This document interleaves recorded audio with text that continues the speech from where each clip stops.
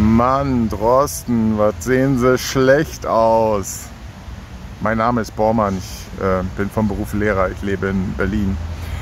Ja, also in den neuen Medien kriegt man von diesem Herrn ja äh, so gut wie nichts mit. Da hat er kein Renommee erarbeitet, da ist er keine Respektsperson und jetzt das, ne? Da sehe ich mal ein Foto von ihm in der Zeitung und das sieht einfach nur schlecht aus. Herr Drosten, äh, hat man bei Ihnen im Blut erhöhte Dedimere festgestellt? Nee, lassen Sie mal testen, ja. Oder haben Sie mal eine Blutwäsche gemacht? Da kriegt man raus, was denn da so im Blut herumschwimmt. Ne? Und äh, es gibt da so etliche Stoffe, die sind nicht gut, so Aluminium und Chrom und gibt noch viele andere gibt es eine lange Liste. Wenn Sie eine Blutwäsche machen, dann wird das gezielt ausgewertet. Ich würde mal empfehlen, so Leute in ihrer Gehaltsklasse, die können sich das doch bestimmt alle fünf Jahre mal leisten. Da wird man dann gleich zehn Jahre älter und all diesen Dreck mal rausholen lässt aus dem Körper. Ne? Mal so eine richtige, schöne Entgiftung auf, äh, ja, auf der Basis modernster Schulmedizin das kriegen sie auch bestimmt hin. Und dann kriegen sie auch gleich raus, warum sie immer so Schweißperlen auf der Stirn haben. Ne? Warum sie so ein bisschen glasig aussehen. Warum sie vielleicht kognitiv nicht so richtig auf der Höhe sind und manchmal so viel gefühlt Unsinn erzählen. Ja? Also jedenfalls logisch nicht ähm, verständliche Dinge, die bereits ein Laie nicht mehr zusammenkriegt. Ähm, also Herr Drosten, na, also eins will ich mal sagen. Ne? Mir liegt Ihre Gesundheit sehr am Herzen. Sie sollten es ernst nehmen. Sie sollten darauf achten, dass äh, nicht irgendwelche kleinen äh, Teilchen in Ihrem Körper rumschwimmen. Ja?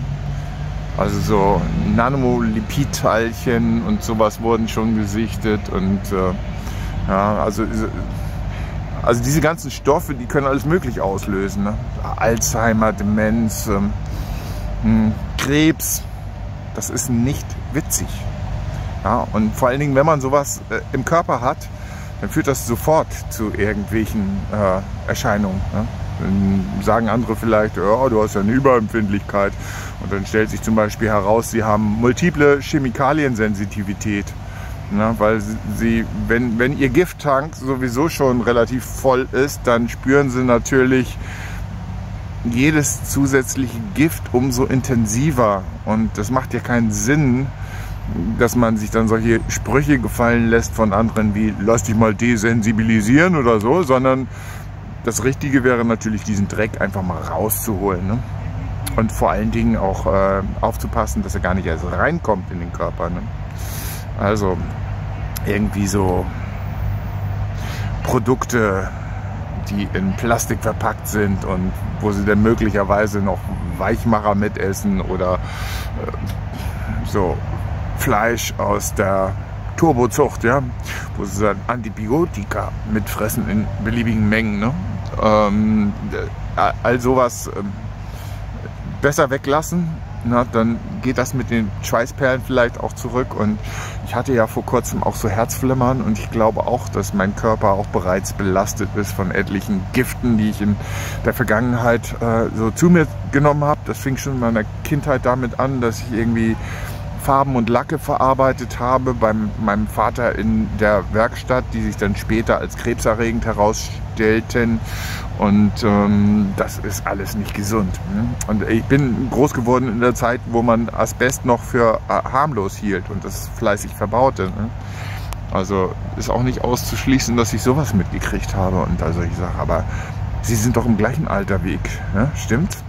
So, Sie gehen doch auch stark auf die 60 zu oder sind sie schon drüber? Ich weiß es nicht. Ne? Also ist auch egal. Herr Drosten, bleiben Sie gesund. Ne? Sie sind doch wohl hoffentlich nicht geschlumpft.